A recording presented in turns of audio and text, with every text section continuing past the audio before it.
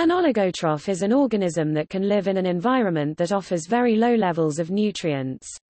They may be contrasted with copiotrophs, which prefer nutritionally rich environments. Oligotrophs are characterized by slow growth, low rates of metabolism, and generally low population density. The adjective oligotrophic may be used to refer to environments that offer little to sustain life, organisms that survive in such environments, or the adaptations that support survival. Etymologically, the word oligotroph is a combination of the Greek adjective oligos, oligos meaning few, and the adjective trophikos, trophikos meaning feeding. Oligotrophic environments include deep oceanic sediments, caves, glacial and polar ice, deep subsurface soil, aquifers, ocean waters, and leached soils. Examples of oligotrophic organisms are the cave-dwelling olm, the bacterium, Pelagibacter ubique, which is the most abundant organism in the oceans with an estimated 2 times 1028 individuals in total, and the lichens with their extremely low metabolic rate.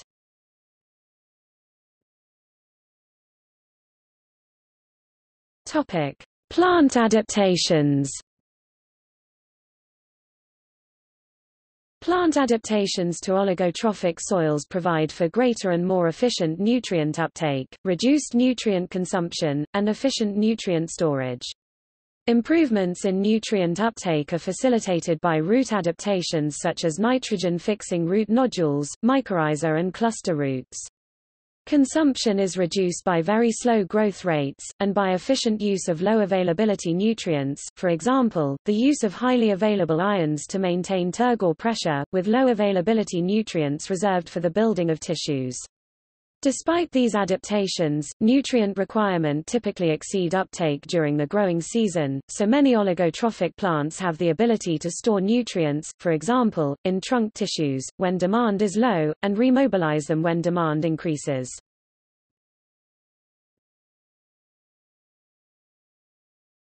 Topic: Oligotrophic environments.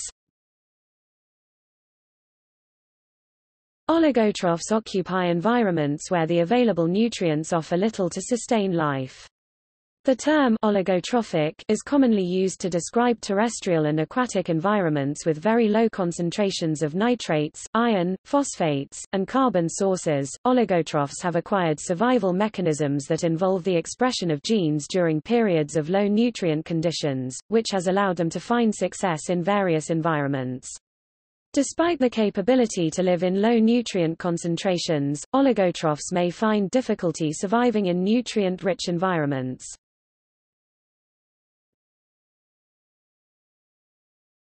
Topic: Antarctica. Antarctic life offers very little to sustain life as most organisms are not well adapted to live under nutrient-limiting conditions and cold temperatures lower than 5 degrees Celsius. As such, these environments display a large abundance of psychrophiles that are well adapted to living in an Antarctic biome. Most oligotrophs live in lakes where water helps support biochemical processes for growth and survival. Below are some documented examples of oligotrophic environments in Antarctica. Lake Vostok, a freshwater lake which has been isolated from the world beneath 4 kilometers (2.5 miles) of Antarctic ice is frequently held to be a primary example of an oligotrophic environment. Analysis of ice samples showed ecologically separated microenvironments. Isolation of microorganisms from each microenvironment led to the discovery of a wide range of different microorganisms present within the ice sheet. Traces of fungi have also been observed which suggests potential for unique symbiotic interactions. The lake's extensive oligotrophy has led some to believe parts of lake are completely sterile.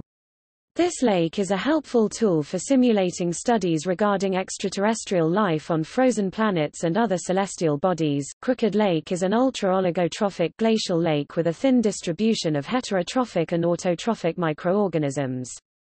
The microbial loop plays a big role in cycling nutrients and energy within this lake, despite particularly low bacterial abundance and productivity in these environments. The little ecological diversity can be attributed to the lake's low annual temperatures.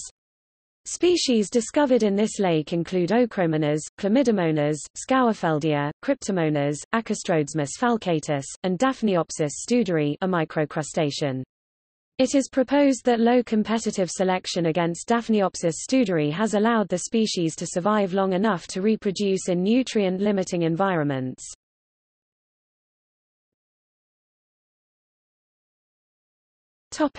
Australia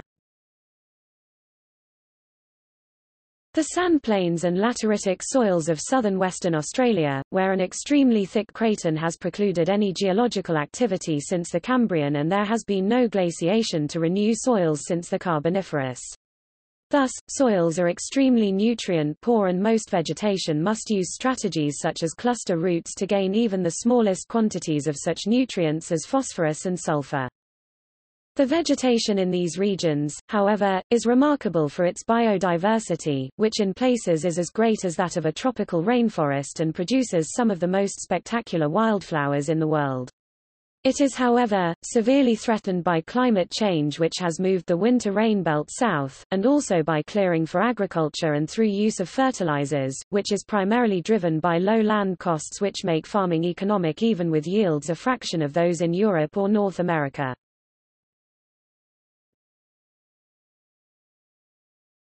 Topic: South America. An example of oligotrophic soils are those on white sands, with soil pH lower than 5.0, on the Rio Negro basin on northern Amazonia that house very low diversity, extremely fragile forests and savannas drained by blackwater rivers, dark water color due to high concentration of tannins, humic acids and other organic compounds derived from the very slow decomposition of plant matter. Similar forests are found in the oligotrophic waters of the Patia River Delta on the Pacific side of the Andes.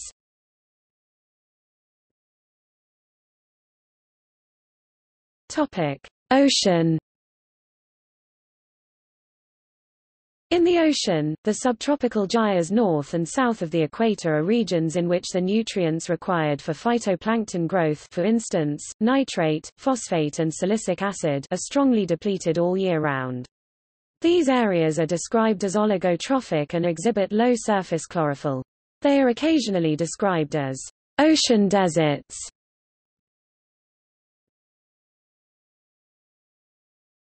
Topic: Oligotrophic soil environments. The oligotrophic soil environments include agricultural soil, frozen soil etc. Various factors, such as decomposition, soil structure, fertilization and temperature, can affect the nutrient availability in the soil environments. Generally, the nutrient becomes less available along the depth of the soil environment, because on the surface, the organic compounds decomposed from the plant and animal debris are consumed quickly by other microbes, resulting in the lack of nutrient in the deeper level of soil. In addition, the metabolic waste produced by the microorganisms on the surface also causes the accumulation of toxic chemicals in the deeper area. Furthermore, oxygen and water are important for some metabolic pathways, but it is difficult for water and oxygen to diffuse as the depth increases. Some factors, such as soil aggregates, pores and extracellular enzymes, may help water, oxygen and other nutrients diffuse into the soil. Moreover, the presence of mineral under the soil provides the alternative sources for the species living in the oligotrophic soil. In terms of the agricultural lands, the application of fertilizer has a complicated impact on the source of carbon, either increasing or decreasing the organic carbon in the soil. Collimonas is one of the species that are capable of living in the oligotrophic soil. One common feature of the environments where Collimonas lives is the presence of fungi, because Collimonas have the ability of not only hydrolyzing the chitin produced by fungi for nutrients, but also producing materials e.g., P. fluorescens 2-79 to protect themselves from fungal infection. The mutual relationship is common in the oligotrophic environments. Additionally, Collimonas can also obtain electron sources from rocks and minerals by weathering. In terms of polar areas, such as Antarctic and Arctic region, the soil environment is considered as oligotrophic because the soil is frozen with low biological activities. The most abundant species in the frozen soil are actinobacteria, proteobacteria, acidobacteria and cyanobacteria, together with a small amount of archaea and fungi. Actinobacteria can maintain the activity of their metabolic enzymes and continue their biochemical reactions under a wide range of low temperature. In addition, the DNA repairing machinery in actinobacteria protects them from lethal DNA mutation at low temperature.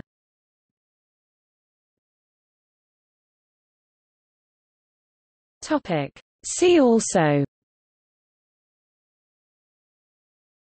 Oligotrophic lake Eutrophic lake. Pelagibacter ubique, most abundant species on Earth and a streamlined oligotroph